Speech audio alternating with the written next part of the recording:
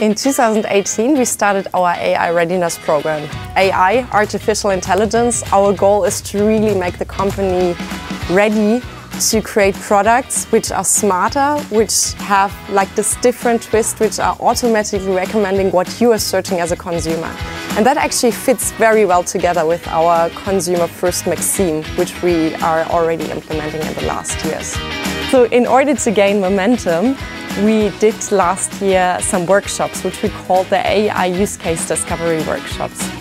In these, we basically created lots of ideas with more than 100 employees um, over Scout, so in Munich and Berlin. We created even a new position, which is sitting right in front of you. Um, so we have an AI evangelist now, who's really taking care to get all our AI initiatives on the road. This is really where we're coming from a platform to a network marketplace, what we're aiming for.